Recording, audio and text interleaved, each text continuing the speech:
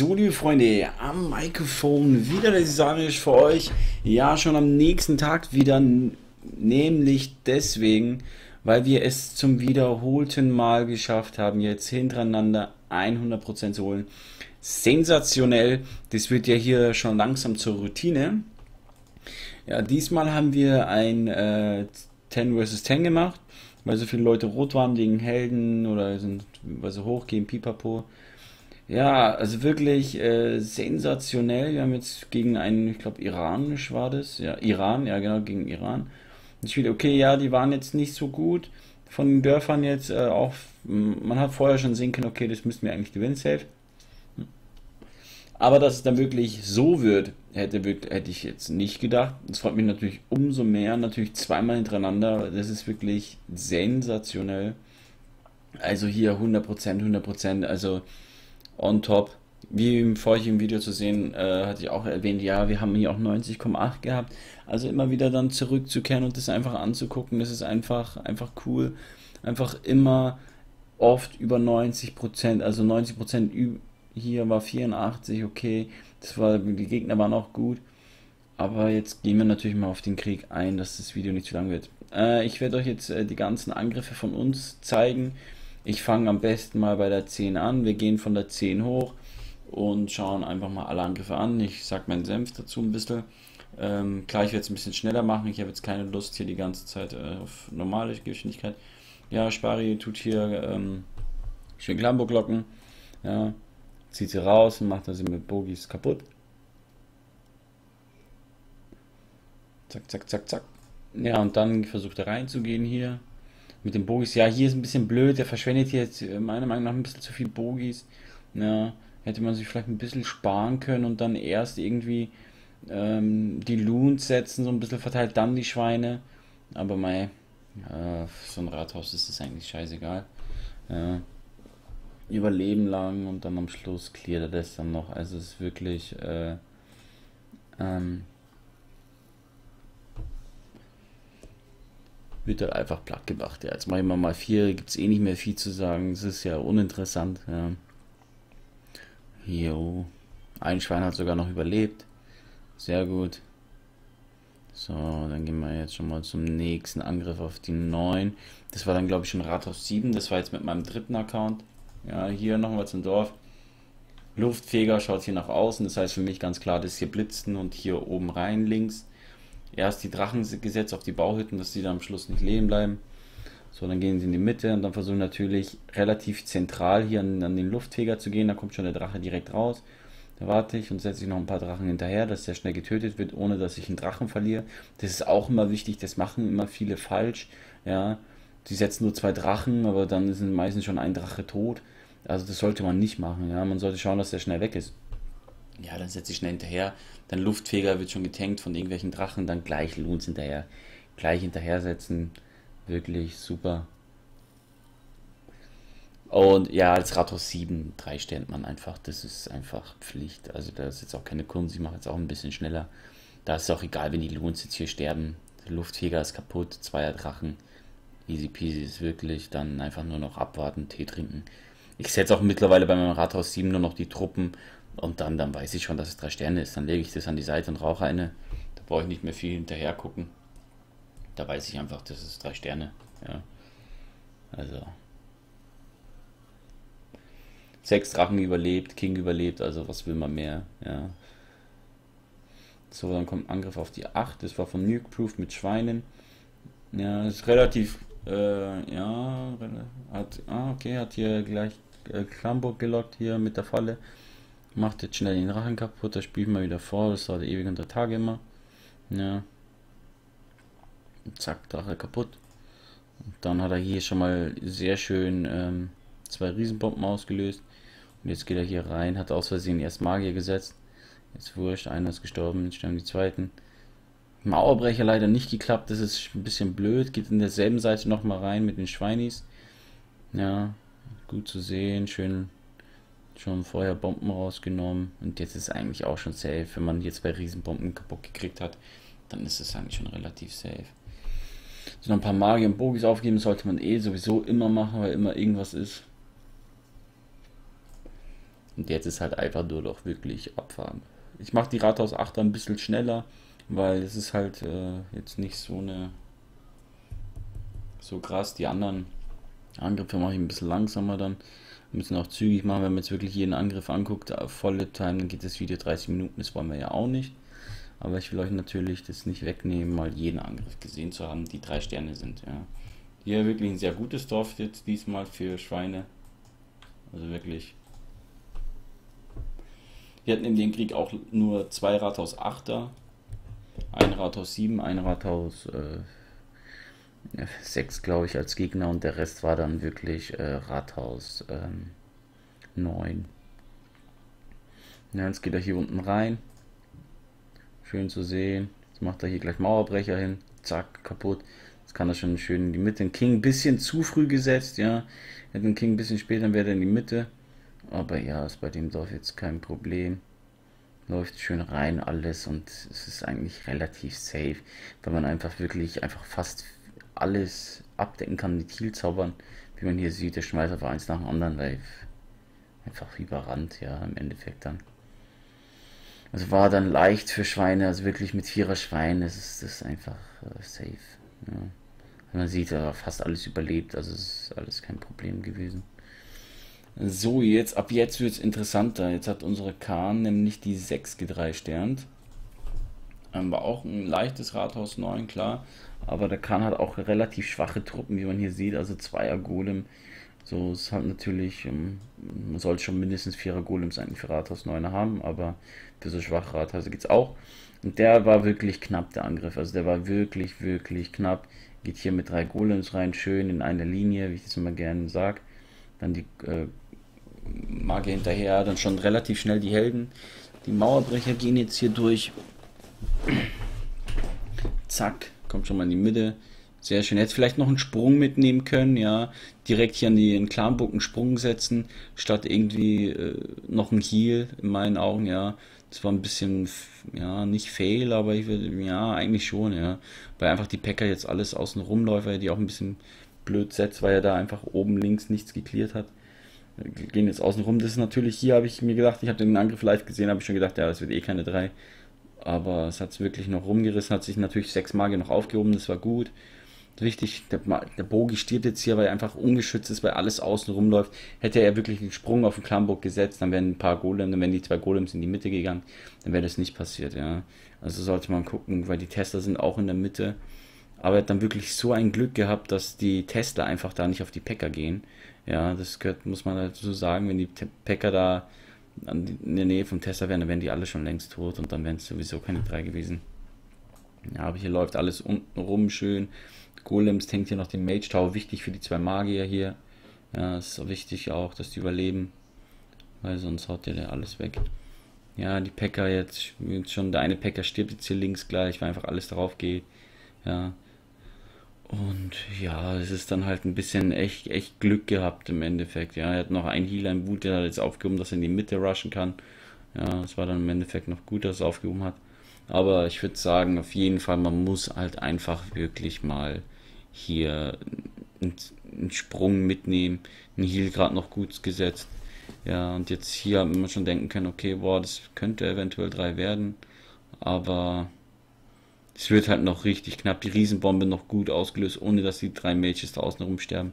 Also wirklich viele Glückfaktoren waren hier halt echt mit dabei. Ja, vor allem, dass die Tesla hier dann wirklich von den Golems rechts noch getankt wird, der eine. Und links noch da einfach jetzt gleich durchgeht, der King. Und hier hat es dann wirklich dann Glück. Ja, auch ein bisschen. Klar, hier war man sich dann sicher, okay, das werden drei Sterne. Aber ja, richtig Glück gehabt. So, dann gehen wir schon mal zur 5. Der Angriff von Baba. Er macht jetzt hier auch wieder Go Hawk. Sind halt viele Go Hawk Basen irgendwie. So. Versucht die Clanburg zu locken, gelingt ihm nicht so gut, verballert schon vier, Mag äh, vier, vier ähm, Schweine. Man hätte vielleicht auch einen Riesen mitnehmen können, einfach. Ja, hat einfach mal so 20 äh, Kapazität einfach verschwendet, um einfach nur die Clanburg zu locken. Naja, geht jetzt hier unten rein. mit zwei Golems links, rechts, dann die Mauerbrecher mittig gesetzt, schön Mitte kaputt. Zack. So, und jetzt geht es dann in die Mitte. Da müsste jetzt dann auch gleich der Sprung kommen. Die Helden laufen schön ins Zentrum, das ist auch mal wichtig. Ja. So, und jetzt setzt er schon Schweine, setzt es immer so. Gute Taktik auch. Ja. Setzt dann immer so an die Ecken immer seine vier, fünf äh, Schweine und dann ein Heal. Ja, macht er immer gut. Ich persönlich könnte das nicht. Ja, weil ich das immer ein bisschen. Oh, Riesenbomben hier gleich bei den Teslern. Kommt der Heal, ja. Gut noch den Heal gesetzt. Jetzt geht er hier links rein mit seinen ganzen Schweinis. Ja. Sieht dann im Endeffekt auch dann noch relativ gut aus. Ja, sein, sein, sein Bogi lebt noch. Jetzt hat das Glück, dass er es ziehen konnte und dann natürlich die anderen. Oh, jetzt kommt der Heal da links oben. Das geht jetzt so schnell, dass ich nicht alles kommentieren kann immer. Also er hatte Glück gehabt, dass er sein Bogi ziehen konnte und dann ist der X-Bow natürlich auf die Schweine gegangen. Glück gehabt, dass er noch so überleben kann. Ja, und dann am Schluss wirklich noch relativ, ja, schon ein bisschen knapp, würde ich sagen, wenn nur noch vier Schweine überleben. So, wenn die Schweine dann alle weg wären durch eine Riesenbombe oder durch so einen komischen Sprungbrett, oder wie die heißt, ich habe den Namen gerade Sprungfalle, dann ähm, wäre das schon relativ knapp geworden. Ja, man muss halt auch sagen, Glück gehabt, dass es diese 3 Minuten 30 Zeit gibt. Ich weiß jetzt nicht, wie lange der Angriff gedauert hat, aber das hilft so für Schweinangriffen natürlich enorm, dieses Update für Kriege, dass man jetzt 3 Minuten 30 Zeit hat. Ja, dann auf die 4 hat der Max gedreisternt ja, mit GoVV. Ja, ist auch ein ja, relativ, eigentlich noch auch, würde ich sagen, leicht, weil er hat keine guten Mauern. Ja, aber echt Glück gehabt, der Gegner, die waren halt echt nicht so gut. Ja, und hier dann auch schön, schön Klamburg. Natürlich Glück gehabt, dass die Drachen haben. Geht er jetzt hier rein mit Golems in so einem, ja, so ein Oval, Dreieck mäßig. Mauerbrecher kommen wieder, zack, zack. So, schön rein. Sprung schön mittig. Dann kommt der Golem. Die Hellen, also das ist schon auch dann gut. Und jetzt läuft es dann wirklich, die laufen dann in die Mitte rein. Jetzt kommen die Hexen hinterher. Ja, es ist einfach gut gemacht. Jetzt müssen wir schauen, natürlich, wie die laufen. Wenn man wirklich Pech hat, dann laufen die Hexen hier unten rum und dann ist kein Golem mehr da.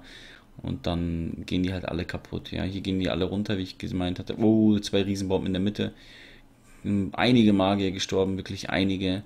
Deswegen sollte man sich immer Magier aufheben. Er hat sich natürlich jetzt nur einen aufgehoben, der hat jetzt gleich gesetzt. Ein bisschen Glück gehabt, also immer schon ein paar Magier aufheben für so einen Fall wie jetzt, dass wenn man noch fünf hätte, könnte man jetzt noch fünf Magier setzen. Dann hätte man noch schön im Zentrum fünf. Ja, ansonsten gut. Hier außenrum läuft es natürlich gut. Das Zentrum ist geklärt, das ist immer das Wichtigste. Und ganz rechts wird natürlich jetzt im Zentrum von allem getankt. Er hatte jetzt noch ein Schweinchen dabei. Den hat er jetzt noch gesetzt. Schön. Der wird, ja, wird gleich sterben. Er hat nichts gebracht. Da eventuell vielleicht lieber einen Loon mitnehmen. Ein Ballon, den hätte er jetzt rechts unten setzen können auf den Bogi. Und auf den Bogi Tower hilft auch was. Also bin ich eher ein Fan. Also ich nehme persönlich ein paar Loons immer mit, wenn die Luftabwehr gut steht. Statt Schweine, weil einfach die Luftabwehr einfach äh, ja, von Kanonen nicht gehittet werden können und pipapo, weil die stehen oft immer weit aus und die Kanonen. Das findet er sein, seine Fähigkeit und hier hat man schon gesehen, okay, eigentlich müssten das drei werden, weil einfach jetzt hier kein Splash Damage mehr da ist, sondern einfach nur noch Einzeldamage. Und ja, jetzt kommt auch schon der, sein, sein Bogi.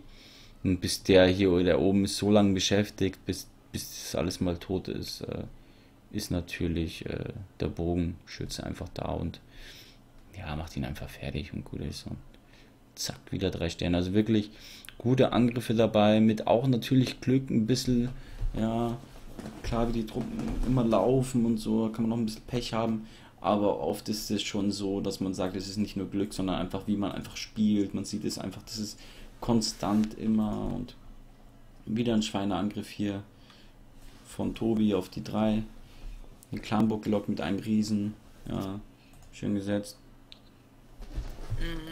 Natürlich äh, empfiehlt sich so ein Dorf, also ich persönlich würde so ein Dorf nicht mit Schweinen angreifen, eher mit GoVV. Schönes Dorf, aber mit Schweinen hat es anscheinend auch geklappt. Zwar sein Golems links, rechts gesetzt, hat nur zwei dabei, oder? Sehe ich das richtig? Ja, nur zwei dabei. Ja, und jetzt klärt er erst wieder links, rechts, außen, dass wirklich die Helden in die Mitte laufen und ich fange aus, anfangen außen rum zu laufen, ist auch immer wichtig, dass die wirklich, weil die Helden sind immer, sind mit das Wichtigste einfach, dass die lang überleben, machen genug Schaden. Riesenbombe ausgelöst, passt, eine ist weg für die Schweine. Die zweite haben wir vorhin schon äh, aufgelöst gehabt. Ja, und jetzt versucht er einfach so viel Defense wie möglich kaputt zu machen und dann setzt er seine Schweinis. Wichtig auch, dass die Magiertürme hier weg sind, weil die machen natürlich auf Schweine, wenn die zusammenlaufen, natürlich sehr viel äh, Schaden. Ja, jetzt ist auch der Ding weg. Die Queen, die Helden sind vom Gegner weg, also ist schon sehr gut geschwächt. Oben hat er jetzt einen Riesen gesetzt, die wird natürlich getankt von dem Bogie Tower und jetzt kommen die Schweine, das ist Abmarsch. Und jetzt natürlich kann man Heal setzen, so vorher wie er gerade. Das kann man setzen, wenn man weiß, okay, die laufen safe dahin. Ein paar Bogies hinterher gesetzt und jetzt ist nur noch hoffen und bangen, dass irgendwo keine Bomben mehr sind, aber wir wissen ja, dass die jetzt schon ausgelöst worden sind. Aber ansonsten wirklich, dass die nicht zu viel wegfliegen und pipapo. Aber dann hier auch wieder, dann alles kaputt ist, mal ein bisschen schneller. Ja, und dann heißt nur noch abwarten und Tee trinken eigentlich. Mehr ist es dann nicht mehr. Und ja, und dann heißt nur noch, ja, warten, warten, warten. Zack, zack, zack, zack. Und schön alles kaputt. So. Dann kommt schon ein Angriff auf die Nummer 2, auf die spannenden Rathäuser von Tobi. Es war auch richtig knapp, der Angriff richtig knapp, genau. Würde ich auch persönlich mit GoVV bevorzugen. Einfach easy für GoVV, wirklich easy. Hat nämlich hier einen Fehler gemacht. Er hat nämlich die Klamburg unten nicht gelockt und der Drache, ihr werdet sehen. Da habe ich mir gedacht, ai, ai, ai, was macht der denn? Ja. Hat hier dann natürlich seinen Sprung. Er dachte, ja, hier geht's direkt rein. Ich mache mal Stopp, weil es ein wichtiger Angriff ist. Setzt hier so, bis hierhin sieht's gut aus. Ja, dann würde ich sagen, okay, passt. Aber er hat einfach äh, in meinen Augen sind da einfach zwei Golems zu wenig. Er hätte einen rechts beim Goldlager setzen müssen, einen links hier, wo der Magier ist und den anderen mittig und dann wirklich seine Magier so im Dreieck verteilen, dass das hier außenrum von diesem Pfeil, was nach unten zeigt und von dem rechts und was von dem Pfeil von links nach oben zeigt, das müsste natürlich weg sein, dass wenn du dann die Helden hinten setzt, wo jetzt aktuell die Bauhütte oben ist, dass die dann wirklich in die Mitte laufen. Die laufen natürlich immer zum nähesten Ziel hin. Das heißt, aktuell ähm, bringt es dir nichts, wenn außen das kaputt ist, weil hier in der Mitte sind noch die Magiertürme. Da laufen die oben rum, das werden die Helden auch machen, deswegen spreche ich es an, nämlich äh, hier oben rum bei den Magiertürmen jetzt und bei dem Elixierlager einfach hin, ohne dass sie in die Mitte laufen. Weil es einfach in dem Moment einfach die Elixierlager näher sind als jetzt der Luftfeger. Ihr seht das jetzt genau. Und wenn die tot sind, gehen sie halt zum Magierturm, weil das immer noch näher ist. Ja. Okay, die Queen geht jetzt zum Luftabwehr hin, die ist Fernkämpfer. Ja. Aber wenn die dann weg ist, geht der jetzt zum Magierturm. Und dann äh, geht es einfach so weiter, dass die jetzt außenrum weiterlaufen und in der Mitte einfach keiner hingeht. Das heißt dann einfach im Endeffekt jetzt. Äh, den Spell äh, verschenkt. Ja, es klappt halt noch mit Glück irgendwie der Angriff, dass es noch klappt. Klar, weil die ganze Defense vom Gegner, jetzt kriegt noch zum Glück die zweite Luftabwehr kaputt, wäre das nicht passiert. Ja, und jetzt hier kommt dann einfach der Drache. Das hat er dann irgendwie, glaube ich, im ganzen Eifer des Gefechts einfach verrafft. Ja, das es vergessen haben. Aber nur noch Glück gehabt, wirklich, da jetzt, dass die kleinen äh, Dinger hier von den komischen äh, Lava-Hunden da aufpoppen und dann den noch irgendwie killen. Weil wäre das nicht passiert, dann äh, garantiert äh, wären das keine drei Sterne geworden, ja. So. Hat natürlich jetzt relativ schnell seine Lava-Hunde verloren. Ja, ist halt auch nicht so gut, so früh zu verlieren, weil einfach jetzt äh, die Loons äh, schnell sterben können, ja. Und vor allem es lebt noch einiges, also so ist nicht. Sein Heal-Zauber hier noch gut gesetzt, ein bisschen. Aber es ist schon sehr knapp. Also es war wirklich, sehr jetzt noch fünf Loons leben. Glück gehabt, dass die Expos auf Boden gestellt sind. Ja, und jetzt dann wirklich äh, rüber zum Bogi. Und hier hat man gesehen, boah, Glück gehabt. Und wegen der Zeit brauchte man auf jeden Fall auch keine Angst mehr haben, weil 3 Minuten 30 ist einfach mega viel Zeit. Also bei 3 Minuten vor dem Update hätte das, hätte es nicht geklappt. Dann hätte ich mich wahrscheinlich wieder endaufgeregt, so hey, Klamburg-Glocken, scheiße, dies, das, Ananas. Aber ja, mit den drei Minuten wirklich noch Glück gehabt, ja. Dann heißt es nur noch wirklich jetzt warten, Tee trinken. Zack, zack, zack und drei Sterne. So, dann kommen wir auf Rathaus 1, wird drei von Max. Auch ein sehr schönes Dorf eigentlich für Hexen. So. Auch für Schweine nicht schlecht. Wurden einige haben dann auch Schweinangriff drauf gemacht noch. Jetzt guck mal, wie er umgreift. Lockt der Klarburg, lockt er nicht, geht hier unten rein. Ja, wieder zwei Golems gesetzt, dann die, die, die Magier. Dann, ich zeige euch am Schluss noch als, als Good Girl noch den Angriff. Ich habe den als Rathaus 8 sogar gezweistern, mit meinem Rathaus 8er. Habe ich auch nicht gedacht, ich wollte auf Flug gehen. Und ähm, ja, wollte eigentlich nur Rathaus rushen und dachte, hole ich einen Safe, einen Stern raus, aber dann wurden es irgendwie zwei. Auch gut. ja, geht jetzt hier auch rum. Der Sprung kam gut. Es geht alles rein, jetzt kommt noch der Wut. Giftzauber hinterher, jetzt müsste noch ein Heal kommen. Hat er den gesetzt, weiß ich nicht. Oh, jetzt sind viele Magier gestorben. Uiuiui, in der Mitte viele Magier gestorben. Ja, jetzt müsste man wieder mal ein paar Magier in die Mitte nachsetzen, auf jeden Fall. Links und außen rum laufen, läuft, läuft alles rechts ist auf jeden Fall jetzt, äh, was sehe ich, drei Hexen, zwei Hexen, fünf, sechs Magier und ein Golem ist gut. Und links sind jetzt aktuell ja, drei Magier und eine Hexe. Ja, die könnten jetzt wahrscheinlich alle sterben, weil einfach nichts da ist, was tanken kann. Der Magier natürlich, der wird jetzt alles weghauen. Das ist natürlich schade, dass einfach so zwei Hexen sterben und ein paar Magier. Das sollte halt nicht sein. Aber ansonsten hat er noch äh, noch ein Schwein, den er jetzt gesetzt hat, gut. Jetzt hat er noch einen Magier, den setzt er. Ja, und die Queen hat noch seine Fähigkeit und dann sieht es schon auf jetzt hier safe, da sieht man einfach, sind drei Sterne. hat man keine Bedenken, dass es nichts mehr wird. Er wartet noch ein bisschen mit seiner Queen, bis der da mal an der Abwehr ist und dann zieht er das, weil es sieht gut aus. Ja, so jetzt zieht er es richtig, genau, hätte ich auch gezogen. Und dann zack, zack, zack. Und der Mage Tower ist dann wirklich, der ist beschäftigt da oben und wenn die da oben jetzt sterben, ist wurscht, weil in der Mitte leben noch so viele, oh, oh Riesenbombe und alles tot.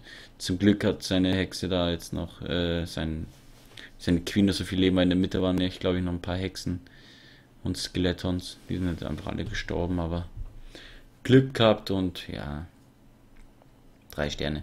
So, jetzt zeige ich euch als Gutter noch zum Abschluss, äh, noch, wie ich mit meinem Rathaus 8 die 1 gezweistern hatte. Das wurde sogar, glaube ich, heroischster Angriff, ja. So, jetzt schauen wir mal. Ne, doch nicht. Sorry. Ähm, da muss ich hier ins War-Event rein. Caesar, Caesar. Die zwei Gesetzix und Caesar. Wo ist denn Caesar? Hier, genau. Die, hier mit meinem Rathaus 8, ja. Classic Go Vibe, wie ich immer angreife. Ja, hier habe ich wieder 8 ähm, Mauerbrecher gehabt, 18 Mages, zwei, äh, drei Packer, einen Klamburg, zwei Golems, zwei Wut, ein Heal. Ja, einfach dann auch äh, als kleines Gutteil zum Abschluss noch zwei Golems gesetzt, Magier hinterher. Ja, es ist immer eigentlich dasselbe bei Go Vibe. So muss es immer ausschauen. Versuchen in eine Linie reingehen, dass wirklich alle Defense auf die Golems gehen. Hier ist das Problem nur, dass die Magier viel zu lang brauchen, bis sie wirklich an den Golems, äh, bis sie an die Defense ran sind, weil die mein Golems, die sterben hier schon. Habt ihr gesehen, links ist schon tot, weil es einfach zwei Golems sind, die halten halt nichts aus. Meine Packer dann noch relativ sch schnell noch gesetzt. Beide laufen in die Mitte, Glück gehabt, jetzt kommt Klamburg raus. Jetzt habe ich schon Gift gesetzt, nochmal ein paar Mauerbrecher, dass die safe in die Mitte reingehen.